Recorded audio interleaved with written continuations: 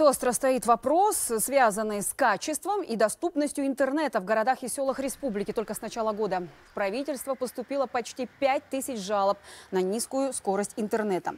Министр цифрового развития Багдад Мусин пообещал усилить контроль за качеством интернета. Также планируется обеспечить выс- высокоскоростным интернетом 3 тысячи сел и 170 тысяч домохозяйств в городах путем строительства сети и развития мобильной связи нового поколения 5G в Астане, Алматы, Шымкенте и некоторых областных центрах. Также из-за многомиллиардных потерь дохода от серого ввоза в страну сотовых телефонов министерство планирует применить биометрию при регистрации абонентов.